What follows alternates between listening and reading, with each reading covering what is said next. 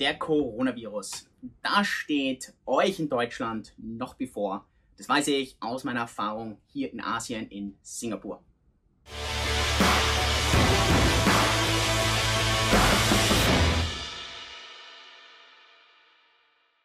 Herzlich willkommen zum heutigen Video. Ich bin Julian. Bei mir am Kanal geht es um die ganze Welt von Business, Mindset, Lifestyle, einerseits eigene Erfahrungen, andererseits Sachen, die ich selbst gelernt habe und natürlich dann immer wieder aktuelle Themen. Themen, wie man hier als Unternehmer rangeht, wie man vom Mindset rangeht, gewonnen und verloren wird zwischen den Ohren. Und heute möchte ich eben über ein sehr rezentes Thema sprechen. Ein Thema, das, glaube ich, im ganzen Dachraum tagtäglich nicht nur in den Nachrichten ist, sondern praktisch überall ein bisschen besprochen wird. Es geht um den Coronavirus, es geht um die ganzen Ausbrüche und was das Ganze bedeutet. Falls du das erste Mal bei mir ein Video auf dem Kanal anschaust, dann lass mir doch ein Like da, beziehungsweise klick auch den Abo-Button. Das ist extrem wichtig, weil du so für neue Videos up to date bist und nichts verpasst. Und wir haben hier extrem spannende Themen, wie gesagt, Business, Business-Ansichten, Startup-Strategien, viele Mindset-Geschichten. Das ist ganz, ganz, ganz wichtig, hoffentlich für deinen Erfolg im Leben. Auch wenn ich medizinischer Doktor bin, so maße ich mir überhaupt nicht an, dass ich irgendwie ein Experte in Infektiologie bin oder mich jetzt mit dem Coronavirus nochmal besser auskenne. Das glaube ich überhaupt nicht. Ganz im Gegenteil. Ich möchte hier eher über das erste Monat in Singapur sprechen und irgendwie so ein bisschen vielleicht Vergleiche ziehen. Wie könnte jetzt so dieses erste Monat in der ganzen Dachregion ausschauen, nachdem jetzt so in der letzten Woche die Coronavirus-Infektionen ziemlich nach oben geschossen sind und gerade Deutschland, auch Österreich, die Schweiz, äh, Südtirol hat natürlich hier ja, ein extremes Thema. Ganz am Anfang, und das ist ganz normal, ist es praktisch der totale Schock. Man hat, glaube ich, diese ganzen Hamsterkäufe, und das hast du vielleicht auch bei dir in der Region oder bei dir im Umfeld auch ein bisschen gemerkt, dass plötzlich ganz, ganz, ganz viele Leute hergegangen sind und, keine Ahnung, die Läden leer gekauft haben. Es gab kein Klopapier mehr, es gab plötzlich keine Konservendosen mehr, es gab kein Waschmittel mehr, es gab kein Desinfektionsmittel mehr. Und genau das gleiche war bei uns in Singapur auch. Ähm, das, der Ding ist, meistens dauert es so zwei, drei Tage an und dann kühlt das Ganze ab, dann äh, wird das alles wieder ein bisschen normaler. Was nicht weggeht, ist dieses ganze Gesprächsthema rund um den Covid-19-Virus. Das heißt, man sagt dann, hey, hast du gehört und hier und dort und es gibt leider jetzt den ersten Todesfall hier und meine Güte und dort und dann treffen sich die Minister und dann treffen sich die ganzen Abgeordneten und dann und das ist natürlich ein extrem ja nervenaufreibendes Thema. Das ist natürlich schön für Tratsch und Klatsch. Die Zeitungen, die lieben sowas und das darf man natürlich hier nicht vergessen.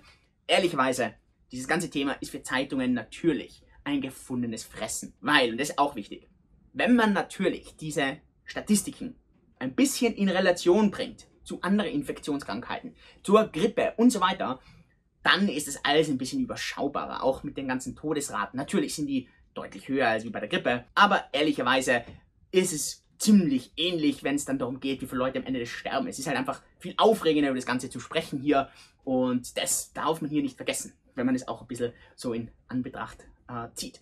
Du kannst mich auch gerne einfach mal in den Kommentaren das wissen lassen. Wie denkst du, ist das Ganze? Ist, glaubst du, das von der Presse teilweise ein bisschen überspitzt? Oder ist es gerechtfertigt, hier auch so ein bisschen Drama zu machen? Finde ich immer sehr spannend und das muss man sich auch hier auf jeden Fall anschauen. In der nächsten Welle kommt dann so ein bisschen erstens mal das tägliche Up-to-Date sein. Das heißt, die Presse geht dann her, berichtet über Neuinfektionen, wie viele Leute sind denn leider gestorben, wie hängen denn die ganzen zusammen und man hört dann immer wieder von neuen Clustern, man hört dann wieder von neuen Infektionsorten und dann geht es natürlich weiter, es kommen irgendwelche Blacklists und das ist so meistens so diese zweite Newswelle, die dann irgendwie reinkommt. Und das war bei uns in Singapur auch. Wie gesagt, bei uns in Singapur hat das Ganze so in der dritten Januarwoche angefangen, rund um Chinese New Year. Das heißt, es ist jetzt fast sechs, sieben Wochen her und es war praktisch diese erste Woche. Und ich kann mich noch genau erinnern, wie ich dann da gesessen bin und mir gedacht habe, was müssen wir jetzt machen? Ähm, man macht so die ersten Notfallpläne, keine Ahnung, Privatchat, wohin müsste man den, den machen? Wo geht denn der Punker hin? Und welche Hamsterkäufe bräuchte man denn selbst? Am Ende des Tages kommt man dann relativ schnell drauf und es ist dann meistens schon die zweite Woche, dass sich das doch einigermaßen normalisiert. Ähm, es werden dann überall Fieberthermometer gemessen, äh, es wird dann überall darauf geachtet, dass man besser desinfiziert. Meistens ist gerade in öffentlichen Einrichtungen, in größeren Gebäuden, dann, gibt es dann meistens Kontrollen und dann wird einfach darauf geschaut, dass zum Beispiel auch die Menschen, keine Ahnung, nicht immer Bussi links, Bussi rechts, Umarmungen zum Beispiel geben, sondern vielleicht eher bis Abstand halten, nicht irgendwie sich direkt jetzt berühren, vielleicht nicht direkt Hände schütteln, Events werden abgesagt. Aber am Ende des Tages fängt es dann an, sich einfach so ein bisschen von diesem kompletten Chaos, das halt in dieser ersten Woche da ist, so ein bisschen in dieses tägliche Wahnsinn hineinzuarbeiten. Es ist praktisch immer um einen drumherum, aber am Ende, man gewöhnt sich so ein bisschen dran. Und das ist auch so die Phase, wo das dann alles ein bisschen normalisiert. Das heißt, hier gerade in dieser ersten Woche, das haben wir dann ja in den Aktienmärkten erlebt, das erlebt man dann bei ganz vielen Unternehmen, ist einfach mal Chaos. Man weiß nicht genau, was auf einen zukommt. An dieser zweiten Woche fängt es halt an, sich so ein bisschen zu normalisieren. Und dann kommt diese dritte Woche. Und in der dritten Woche, und das ist ganz, ganz, ganz klassisch gewesen, auch bei uns in Singapur, waren dann plötzlich diese ganzen Maßnahmen da. Und dann hat man halt einfach gemerkt, wir innerhalb von drei Wochen, und das ist ja so auch so die Generationszeit, wenn man das so will. Also wie lange braucht dieser Virus, um von einer Generation zur nächsten, zur nächsten, zur nächsten kommen? Und in dieser dritten Woche hast du praktisch diese nächste Generation. Und da hast du dann zwar meistens so einen Upspike an Neuinfektionen, weil einfach so die nächste Generation da ist, aber du merkst, wie plötzlich die Bevölkerung viel rationaler an das Ganze rangeht. Ähm, man passt einfach deutlich besser auf, man ist ein bisschen besser gewohnt, gibt halt Sachen, die macht man dann nicht mehr und Sachen, auf die achtet man halt viel mehr. Und am Ende normalisiert sich das Leben und man passt sich wieder an das an. Das ist wie bei allem. Das ist wie so dieser, dieser tägliche Terror, wenn man irgendwie Angst vor irgendwelchen Angriffen hat. Und genau das Gleiche passiert dann hier auch. Dann kommt diese vierte Woche und in der vierten Woche kommt dann praktisch dieser tägliche Wahnsinn immer mehr zum Alltag. Und das ist, glaube ich, dann das, wo man dann einfach dann, keine Ahnung, vor sich hinlebt, man akzeptiert das einfach und das, die Menschen sind hier extrem schnell und extrem anpassungsfähig und das hat man auch einfach bei uns in Singapur gemerkt. Und das ist, glaube ich, auch ganz, ganz, ganz wichtig. Ähm, es ist selten so schlimm, wie es sich am Anfang anfühlt. Es ist auch selten so toll, wie sich irgendwas anderes anfühlt. Aber das ist von dem her ganz wichtig. Und das will ich jetzt Video auch machen. Dass ganz viele Menschen hier in Panik geraten. Viele Investoren überreagieren ins Negative. Firmen überreagieren ins Negative. Die Entscheidung, und das ist das ganz Wichtige von erfolgreichen Leuten, von erfolgreichen Firmen ist, sich richtig vorzubereiten. Sozusagen die Situation nicht schlechter, nicht besser zu sehen, als sie ist, sondern genau so, wie sie ist, mit dem Optimismus die Situation besser zu machen. Und das ist ja das Essentielle aus dem Ganzen. Und richtig gute Individuen, richtig gute Firmen schaffen genau das. Das heißt, man bereitet sich einfach darauf vor, man wird nicht panisch, sondern man geht rational in die Sachen her. Was heißt denn das eigentlich? Was sind die Todesrate wirklich? Wem betrifft denn das überhaupt? Wo könnte denn das überhaupt passieren? Und dann wird man rational, dann fängt man an, gute Entscheidungen im Ganzen zu treffen.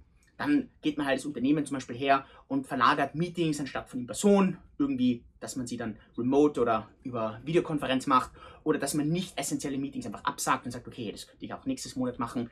Und was dann ganz normal passiert ist, wenn man sich dann wirklich auf die wichtigen Dinge fokussiert. Und das ist, glaube ich, essentiell, weil oft dann passiert es, dass man abgelenkt ist, dass man sich auf die falschen Dinge drauf achtet und dann wird einfach Chaos und dann geht der Fokus einfach weg.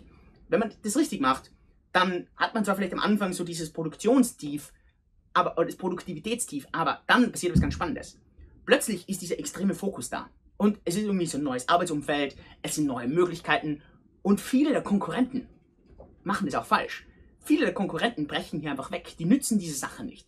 Die machen, werden hier emotional, überreagieren in eine Richtung. Und da kann man halt extrem durchbrechen. Und das habe ich extrem zum Beispiel bei uns gemerkt. Ich habe das zum Beispiel bei uns bei Cake in Singapur gemerkt, wie wir einfach extrem gut remote, wie wir extrem gut hier die regionalen Umstände genutzt haben. Ich merke das ja bei vielen, vielen Konkurrenten, bei vielen, vielen anderen Firmen, wie die einfach teilweise komplett mit der Energie auseinanderbrechen. Und bei uns, wir haben voll nach vorne geschoben, alles zusammengetan und das, glaube ich, ganz, ganz wichtig, hat uns auch extrem geholfen als Team und als Firma. Und das ist, glaube ich, genau das Gleiche, was im deutschsprachigen Raum auch passieren wird. Wirst du merken. Schau dir das Video vielleicht einfach auch mal wieder in zwei Wochen, in vier Wochen an und du wirst diese Phasen sehen von diesem totalen Chaos in der ersten Woche, das jetzt wahrscheinlich so ein bisschen zu Ende gehen wird. Dann in so diesen täglichen Wahnsinn der zweiten Woche, wo aber auch immer noch ein bisschen irgendwie all der Fokus auf das ist. In der dritten Woche fängt es dann ein bisschen an abzuappen und in der vierten Woche ist es dann irgendwie so der regelmäßige Alltag. Und dann hast du einfach die einen, die das zum regelmäßigen Alltag gemacht haben, über den Coronavirus zu reden, sich Angst, äh, Angst einzureden, Angst zu haben, Sorgen zu machen, dann, und zu der Gruppe gehörst hoffentlich du, die umhergehen und hier den Fokus geändert haben, die hier wirklich auf die Dinge achten, die sie kontrollieren können, sich korrekt vorbereitet haben und einfach ein paar richtige Dinge gemacht haben. Und dazu gehörst hoffentlich du auch in der Gruppe. Falls du mehr zu dem Ganzen haben willst, beziehungsweise wenn du so dieses Erfolgsrezept brauchst, wie kriegst du den Fokus in eine Richtung, wie kannst du diese Schritte für dich strukturiert umsetzen, ich mache am Samstag um 10 Uhr Vormittag ein mega cooles Webinar, nämlich mit Rezept zum Erfolg. Das Ganze ist kostenlos. Ich würde mich total freuen, wenn du mit dabei bist. Ich verlinke dir das unten auch mal rein und dann hoffentlich sehen wir uns am Samstag. Falls du mir einen Daumen hoch auf das Video gibst, wenn dir das Ganze gefällt, wenn du das Ganze teilst und wie gesagt, wenn du das erste Mal bei mir im Kanal bist, ja nicht vergessen zu abonnieren, damit du keine weiteren Videos von mir verpasst. Wir sehen uns beim nächsten Mal. Liebe Grüße, dein Julian.